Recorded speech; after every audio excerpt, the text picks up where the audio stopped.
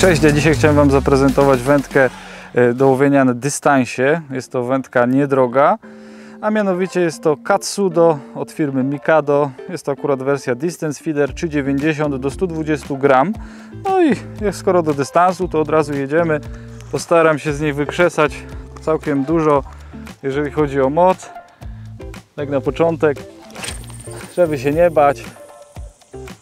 Widzicie, o, poleciało pod drugi brzeg, bo tam akurat mieliśmy wcześniej rybeczki, bo już tu chwilę łowimy sobie. Także mamy zarzucone, jak widzieliście, fajnie to poszło. Generalnie y, muszę powiedzieć, że uczuciowo ta wędka zrobiła na mnie bardzo dobre wrażenie, ze względu na to, że ma stosunkowo cienki blank i przelotki, które zostały tutaj użyte y, w tym przedziale budżetowym, to jest dla mnie niespotykana rzecz. Widzicie, mówiłem, że pod brzegiem siedzą bo te przelotki są po prostu mega duże, jeszcze wygięte, typu K. Są to jakieś przelotki Sea Guide z tego co widziałem w katalogu.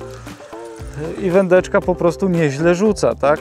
Ja no już dużo tych kijów dystansowych przeleciałem, z reguły zawsze łowiłem na kije droższe, bo tych tańszych tak raczej no, no ciężko je polecić w ogóle, tak? Bo są bardzo grube, ciężkie, a tu mamy dosyć lekki kijek z cienkim, z cienkim blankiem, z dużą przelotką który naprawdę potrafi machnąć. Do tego mamy spłaszczony dolnik i tutaj logo.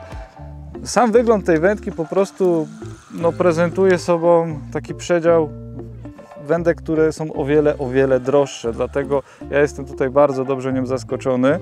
Bardzo mi się podoba i na pewno będę na nią łowił. Już jest ze mną drugi raz na rybach. Tutaj jest, niestety nie mam jeszcze kołowrotka dobrego, y, dopasowanego do niej, bo wziąłem po prostu taki, który był wolny, żeby zobaczyć.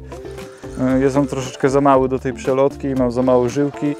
Niemniej jednak wędeczka naprawdę rzuca. Jak widzicie praca jest taka na takiej mniejszej ryb, rybce. No, dopiero się tam troszeczkę na szczycie wygina.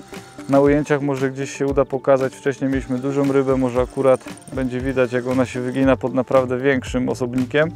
No bo no to jest wędka do rzucania, tak? Ona nie będzie się pod małymi rybkami uginać, ona się nawet nie ma pod takimi rybkami uginać, ona ma po prostu fajnie rzucać, być taka progresywna. Tutaj odrobina, że tak powiem, delikatności pozwoli wyholować tą rybę, ona się nie zepnie i nic się nie wydarzy złego. Na pewno fajnie, że się udało tak do filmu złowić. Teraz ją podbierzemy, tak będzie troszeczkę przerwa w opowiadaniu. Widzicie, malutka naprawdę rybka. O, teraz troszeczkę tutaj dała więcej, pozwala pokazać. Tu się trochę zdenerwowała. Jak widzicie, akcja mamy typowo progresywną. Wędka ma sporo mocy w sobie. Im, Im bliżej do dolnika, tym mocy jest więcej. I tak to właśnie powinno być w dystansie, żebyśmy mogli tą wędeczkę po prostu naładować. Ona tak się musi wyginać, to jest normalne. Myślę, że tutaj też nie ma co za dużo bajerować. Trochę tutaj mamy zamieszania. O, ale widzicie, udało się ładnie rozplątać wszystko.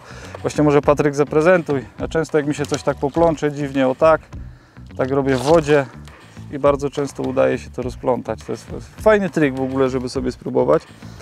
Mm, także naprawdę bardzo dobre wrażenie. Ja jestem, no nie, że zszokowany, bo już bym przesadził, ale zobaczcie sami, Piękny kijek. Widziałem gdzieś kiedyś Katsudo Slim, e, Slim Feeder i tak, no ja lubię ten klasyczny wygląd wędek, to do mnie przemawia.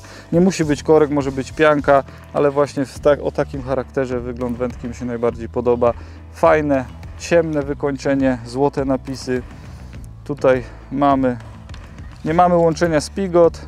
Tutaj no, nie uważam, że jest to jakaś potrzebna rzecz. Jednak trzeba na to zwrócić uwagę, że nie ma, ale przelota to jest to. Tu i aż do samej, do samej góry mamy na dwóch stopkach, nie na podwójnej podstopnicy, ale na trzech stopkach aż do ostatniego trzeciego składu, gdzie są przelotki na dwóch stopkach po prostu i fajnie to wygląda. Warto zwrócić uwagę na to, że na szczytówce mamy takie tak zwane skrzydełka, dzięki czemu tam się to wszystko lepiej przechodzi, mniej się to wszystko pląta. Teraz wykonamy sobie taki bardzo siłowy, mocny rzut i mam nadzieję, że coś będzie widać. O! Poszło. Do klipsa elegancko, pod drugi brzeg. Do tego ta wędka służy. I teraz sobie zobaczymy na luźno, jaka jest szybka ta wędka. Widzicie? Jest błyskawiczna. Co też pozwala nam oddawać te cele, y, cele, przepraszam, rzuty celne, szybkie i mocne.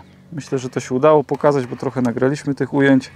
Także podsumowując, to tutaj będzie trochę historii. Zacząłem swoje wędkarstwo dawno temu, ale jak zabrałem się za nie poważnie, to jedną z pierwszych wędek, jakie miałem, było Mikado Ultraviolet. W ultrawiolecie nie pasowało mi bardzo to, że te przelotki były takie małe, ta wędka się tak zapychała, przy czym miała też smukły blank, fajnie rzucała. A tutaj mamy tak jakby lepszą wersję ufałki z ogromną przelotką, tak jakby ktoś mnie wysłuchał kiedyś i zrobił taką wędkę, y, taką jak ja bym chciał właśnie. Tutaj jest wszystko w tej wędce właśnie tak zrobione, dlatego tak jestem no, urzeczony nią wręcz bym powiedział. I myślę, że jest w bardzo odpowiednich pieniążkach, bo to trzeba podkreślić, do dystansu porównywalna wędka do takich dużo droższych moim zdaniem. Myślę, że godna i warta uwagi pozycja. Na razie, trzymajcie się.